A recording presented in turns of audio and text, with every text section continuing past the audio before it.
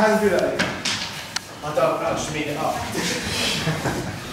Maybe fight is anything good. So, it's a left-handed punch. Step out the way of it. Place the hand. Shuto, straight to the back of the neck. Yeah. Be careful.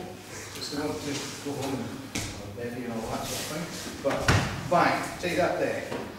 Left hand, grab, good strong grip here. Aye, don't grab the hair. What this person now has to do is to stiffen up. no comments from either of you. This hand, okay, your arm, you go all the way around and you grab the belt. As high as you can get. Lift and over. That point there. When you get to that point there, all you need to do to smash the knee, okay, to take the kneecap out and to wrench out the socket again is a quick bang. That way.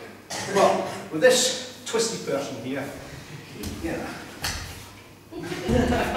Just sit on them. Once again.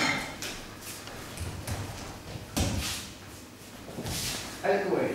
There. Forward. Take a good grip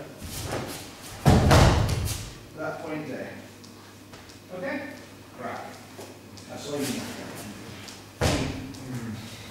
Happy?